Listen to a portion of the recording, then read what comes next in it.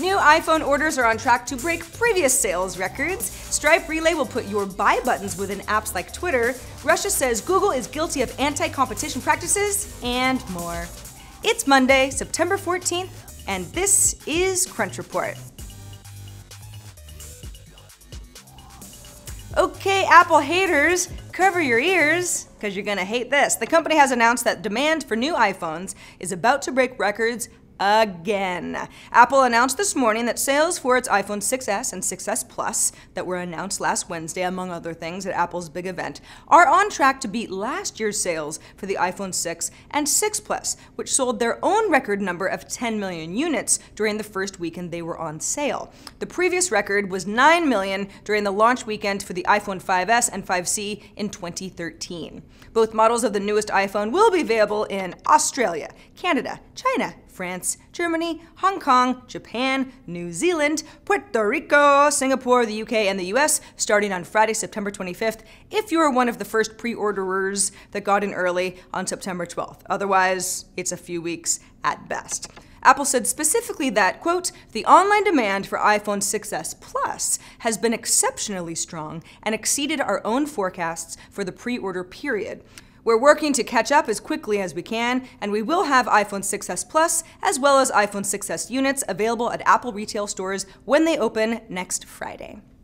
Online payment processor Stripe has released a new set of tools called Stripe Relay so that retailers can build more native buying experiences within apps such as Twitter, for example, like a buy button that a merchant can put all over the internet to make sure that the buy-in experience will happen inside a variety of apps without you or I having to launch any external mobile sites or otherwise feel inconvenienced when spending our hard-earned cash.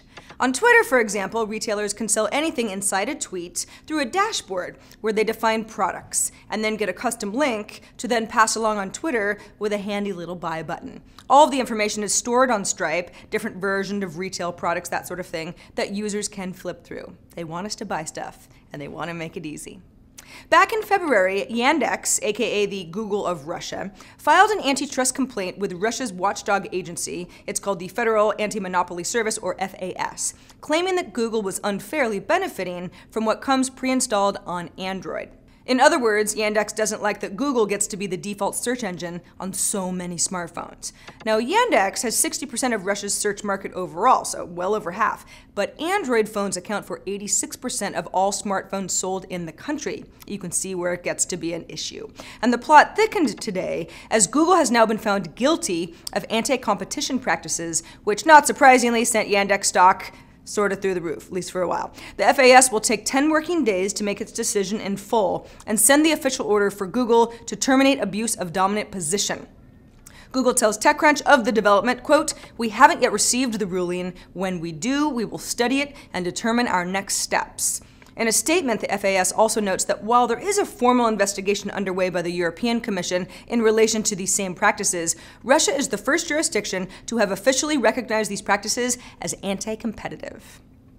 Michelle Phan is a legitimate YouTube star. If you haven't heard of her, her makeup tutorial videos have been viewed more than 1 billion times. Wow. And now her makeup subscription delivery service called Ipsy, with a small i, has raised $100 million in a round led by TPG Growth and Sherpa Capital. Users pay the company $10 a month. They get a monthly package of makeup. It's called a glam bag. And it has really caught on. Ipsy has 1.5 million subscribers already, giving the company annual revenue of over 150 $50 million. And Ipsy says it's been profitable for more than three years, which is impressive since the company is just under four years old, and prior to this venture financing round, it had raised less than $3 million. Ipsy currently has 10,000 content creators as part of its Open Studios platform, and it's kind of a popular model. Competitor companies, Birchbox is one, have roughly the same business model, about $10 a month for makeup supplies. People like looking good. Who'd have thunk it? Super Mario Brothers. What does that mean to you? If it means many hours spent playing the Nintendo game every day after school for four years, then you and I have something in common. Did you know, though, that yesterday was Mario Day? If you didn't, yeah, 30 years ago, the Super Mario Brothers shipped on September 13th, 1985. And as it is wont to do, Google's having some fun with an Easter egg in its search results. You just Google Super Mario Brothers and you'll get a little toy to play with. It isn't much, really. It really isn't much. Just a little piece of your long forgotten youth. But if you click on it 100 times, you get a one up sound. So it's essentially a really annoying Easter egg for anyone you happen to share an office with. Happy Monday! And that is the report. I'm Sarah Lane. Crunch Report airs Monday through Friday at 7 p.m. Eastern, 4 p.m. Pacific, right here on TechCrunch.com. We love you, and we'll see you tomorrow la la la